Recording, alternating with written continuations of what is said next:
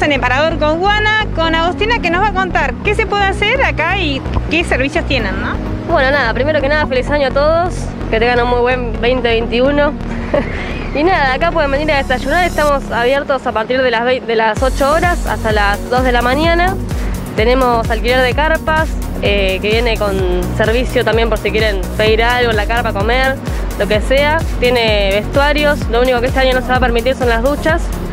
Pero nada, también pueden venir a almorzar, desayunar, merendar, cenar, todo, tomar un trago, cervezas, tenemos bastante amplio el menú, digamos. Bien, y el lugar tiene tanto para comer adentro como para afuera. Sí, sí, tenemos adentro, afuera, también del lado de la costanera. Es adecuado el lugar para mantener toda la distancia social y respetar el protocolo vigente, ¿no? Sí, exactamente. Este año las carpas, este verano van a ser carpa de por medio para que se mantenga la distancia de dos metros entre persona y persona, digamos.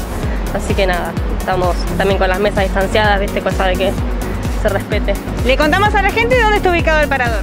Está ubicado en la calle Costanera y 40 de las Toninas. Bien, si nos quieren visitar, ya sea de Santa Teresita, de Costa del Este o de San Clemente o de San Bernardo, pueden venir, ¿no? Exactamente, sí. Tenés, si vienen de Santa Teresita, está la ruta 7 interbalnearia, que viene derecho para acá. No hace falta salir a la ruta tampoco, así que nada. Bueno, que tengan la mejor de las temporadas. Bueno, gracias. Igualmente para todos ustedes.